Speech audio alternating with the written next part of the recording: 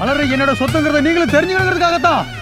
நீங்க கும்புற இந்த சாமியையும் உங்களையும் சாட்சியா வச்சு தாலி கட்டியிருக்க. இது உன் பேருக்கிட்ட சொல்லி வை